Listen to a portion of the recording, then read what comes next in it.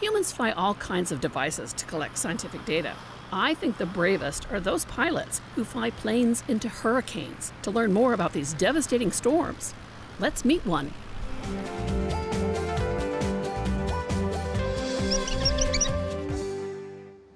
My name is Nathan Kahn. I am the commanding officer of NOAA's Aircraft Operations Center. I'm a commissioned officer in the NOAA Commissioned Officer Corps, and for about the last 10 years, I've been a pilot with, the, with NOAA's aircraft operations, um, specifically flying into hurricanes. Kahn and his team fly a wide variety of specialized aircrafts conducting different types of scientific missions. The most dangerous assignment is flying into a hurricane. Hurricanes are such a large weather phenomenon and, and largely under, misunderstood or not understood. And they have a huge impact on people's lives and property, especially in the Gulf and Atlantic coast of the United States. And really the only way to truly start to learn more about these storms is to pull data from places that we can't get it with satellites, and that's in the heart of the storm.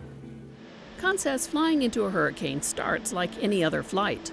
All of the same principles apply. Lift, drag, airspeed management, altitude, all of those things. Like it's all the same principles of aviation.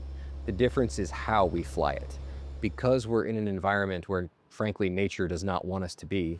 A crew consists of a number of people because flights to and from a storm can take hours.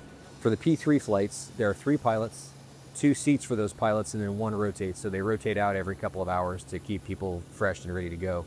And then two flight engineers. The flight engineer sits in the center seat between the two pilots and helps to manage the airplane, so they rotate out as well. Behind them on the airplane, you've got the in-flight meteorologist who drives the mission and the safety for the weather systems that we're flying through. Next to them is a, uh, a navigator who kind of helps coordinate that as well as doing long-term communications and kind of management of where the aircraft is spatially.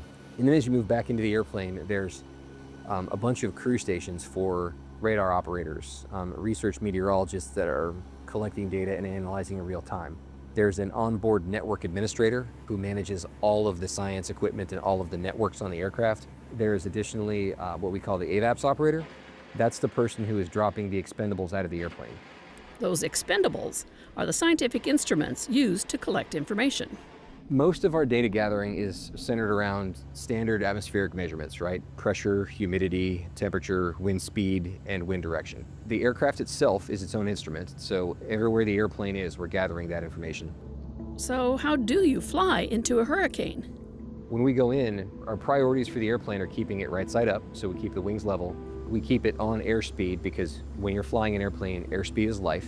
That is what keeps you flying. And then we maintain a track over the ground because that keeps us moving through the storm system. They want to get to the eye of the storm, but they don't head straight in.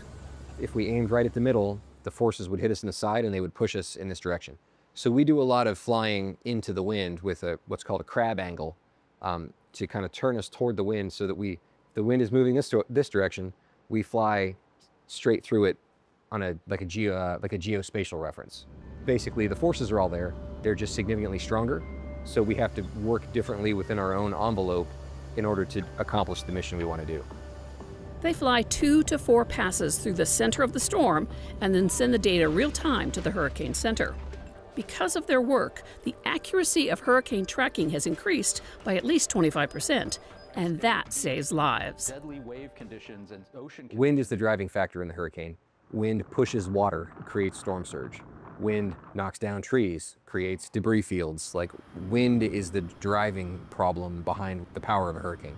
And so understanding where the damaging forces are within that system and how strong they are is critical to who evacuates, who needs like who should who should shelter in place, like where is the weather service going to issue a tornado warning.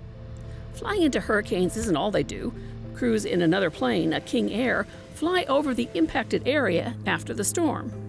Our King Air actually took pictures of people on roofs that FEMA then used and emergent, local emergency officials used to vector rescue. So we're, we're not just on the forecasting front, like we have other aircraft and crews that are doing the response to clean up the, um, the support for people after the storm.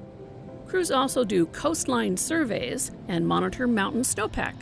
We are not scientists ourselves specifically, but we take the airplanes and the ships to the place the scientists need to go to collect that information. Hurricane hunters go back a while. The first hurricane pilot flew into a storm near Galveston, Texas in 1943. And even today, most storm specific training for flying into a hurricane is done on the job. One of the questions we get asked a lot is like, are you guys adrenaline junkies? Like, do you really get into this thing? And it's weird, but the answer is no. Um, the people who who want that adrenaline spike, like they they wouldn't last. The hurricane job, especially, is a marathon. It's not a sprint. Though Kahn loves his job, he has definite feelings about flying into a hurricane. It's terrifying. It's terrifying. Anybody who tells anybody in my line of work who says that they're not scared is either lying to you out of some sense of bravado or they're insane. If you want to learn more, head to the Science Trek website. You'll find facts, links, games, material for educators and parents, and much more. You'll find it all at sciencetrek.org.